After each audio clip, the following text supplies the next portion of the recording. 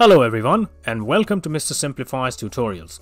In this tutorial we're going to look at fishbone cause and effect analysis and we're going to use one example to explain all the concepts all the way through. Now problems are unavoidable in business. We all know that it's important to resolve problems in a timely manner and it's also important to figure out the source of any problem so that we can weed the problem out from its root and prevent it from occurring and wasting our time again. And this is what a cause and effect analysis helps us to do. It's also called the fishbone diagram. It's also called Ishikawa diagram, herringbone diagram, or Fishikawa diagram. It's essentially a tool which helps us visualize all the potential causes of a problem and helps us narrow down to the to the root causes okay and as you can see a, a fishbone diagram structure looks like the uh, the skeletal structure of a fish and that's why it's called so. Okay now let's look at the steps in creating a fishbone diagram. Step one is to identify the specific problem. Obviously if you don't know the the specific problem at hand you you won't be able to solve it. So correctly identifying the problem is key to getting to its root. Now let's look at an example to get all of this clarified for you now, in our example, the sales of a small company selling products online have fallen in the last quarter. Okay, so that's the problem they're facing, but this is a broad problem. They need to get it a lot more specific to start creating a fishbone diagram. The management understands that there are three sales channels the company relies on direct website purchases, phone sales, and sales through channels like Amazon and eBay. Okay, now, some internal brainstorming by the management has revealed that phone sales have actually reduced drastically. Further investigation of historic records then indicate that phone sales have actually dropped by 20%. So this becomes the specific problem to be addressed and we shall use the fishbone diagram to actually address this problem. So what we do is we put the actual problem on a block on the right hand side and get a line coming off it. Yeah, we are putting the skeletal structure of the fishbone diagram together. Now step 2 is to work out the problem areas or the categories of the causes, yeah? Here we find out the factors that directly influence the problem or process most uh, and these are categories of the causes. These are not the actual causes because we are not there yet, yeah? So in a complex business environment, one will need to use tools like the McKinsey 7S framework to identify possible categories. Yeah, but in simpler situ- situations or in smaller organizations, simpler problems, brainstorming with people involved in running the process will help identifying uh, these cause categories. However complex the process is, or however however large the organization is, it is recommended to limit yourself to less than 10 categories. We got to keep it simple, otherwise it gets too overly complicated. Okay, in our example, in our simple example, the causes have been identified by the management as people, telephone prompts, and technology. So these are the actual cause categories. So what we do is we actually map these in the skeletal structure that we have uh, started putting together. So we've got a main stem and then we've got branches with people, telephone prompts and technology. So what actually happens here? So the next step is to identify the actual causes. So here we go deeper and produce the actual factors that affect each cause category, yeah? Now again, brainstorming with relevant people is the most widely accepted method to identify the actual causes. Now, there's also a possibility of sub-causes, which will affect the the actual causes and these can branch out of the actual causes yeah you will see all of this in the example that we are using so the first cost category is people and the causes are that the new salesperson is not closing deals and the next cause is that the salespeople are struggling to follow up okay and there is a sub cause relating to this cause and the sub cause is that the leads are currently documented on a simple spreadsheet instead of a lead management system. So that is a concern. Now, the next category is telephone prompts, and the causes here are repetitive and not easy to navigate. The prompts are not efficient enough. And the prompts seem to have an unpleasant voice. So it's not a voice that's welcoming for customers. Yeah.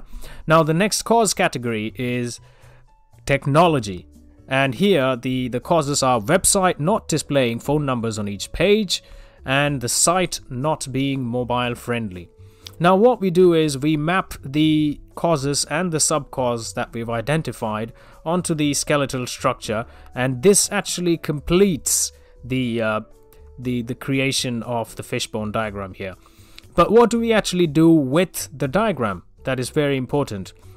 So we go on to step 4 which is analysis and action planning. So at this stage you already have a visual representation of all the causes, right? Uh, what you don't have however are the solutions to ensuring that the problems get corrected. And this can be achieved by action planning, okay? So you can create an action plan which looks like the simple action plan that we have created here, which would have uh, problems, uh, who needs to do what. So these are the actual these are the actual areas that you can address in the action plan. And having simple titles like problems, who needs to do what, by when, and measurement will be sufficient. Now let's put our example into the action plan and see what we come up with. So the problem, which is uh, the first cause under the category people, is that the new salesperson isn't closing deals. And who would need to do what there? So the the salesperson would need to meet with uh, the sales director to to explore possible training options and then by when we have the 21st of February plotted as a deadline and then how is this going to be measured this is going to be measured using the conversion report that is to be produced on the 20th of June so you see this is how you can actually put an action plan together and we are able to create this action plan because we have identified all of the causes using the fishbone diagram that we created, yeah? And the second cause is that the leads are documented on a spreadsheet, so which is quite simplistic, not efficient enough. Now, the IT manager needs to explore sales management softwares with client follow up features.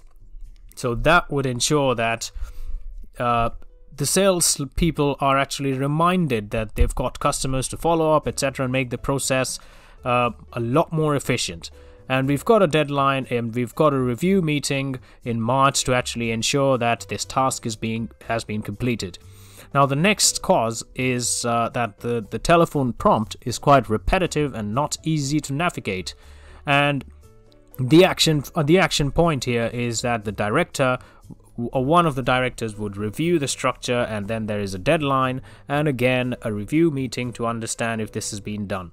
Now, the telephone prompt is unpleasant. Now we got to brainstorm and actually review this course because this is obviously the management thinking that uh, the the prompts are not good enough in terms of the voice as well, but it needs to be further brainstormed and reviewed. And then obviously once that's done, uh, a follow-up email will be sent to uh, to ensure that everybody's on the same page. Now, the next cause is that the website is not displaying phone numbers on each page.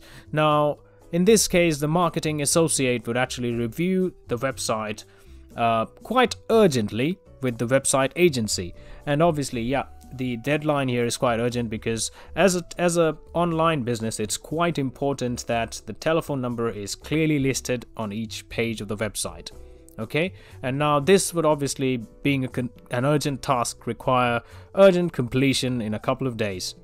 Now the site not being mobile friendly is uh, is a bit of a project. It would need time so the marketing associate would uh, need to discuss with the website agency and then follow up later. And then there's been a deadline provided for the initial discussion, and then this would be reviewed in the uh, in the meeting. Okay, so there you go. The action plan, an action plan was put into place, and the company would hopefully get down to the bottom of the problem and ensure that it doesn't happen again. Yeah. Now let's look at how an actual fishbone diagram is drawn. Uh, in terms of drawing the actual tools, uh, you can use a variety of, uh, of uh, tools like you know you can use SmartDraw or even basic applications like word or powerpoint so it doesn't really matter you don't have to get something really complicated because the actual diagram is is simple enough and and the main part of the process is to to actually to actually brainstorm and get to the causes that's the main aspect drawing is is secondary and even a simple sketch on pen and paper will actually do the job as well as any complicated software that you get uh, to draw the tool okay so I hope this was helpful for you. I hope you were able to understand what the fish the fishbone diagram is and how it can be used. I thank you very much for your attendance as always, and as always, as always, please like this video. Uh, please support this this content. You've been really supportive. I really love all my subscribers, and I encourage you to get more subscribers. And I encourage you to to recommend topics as always in the comment section. Okay, so uh, take care of yourself and keep loving yourself. Bye bye.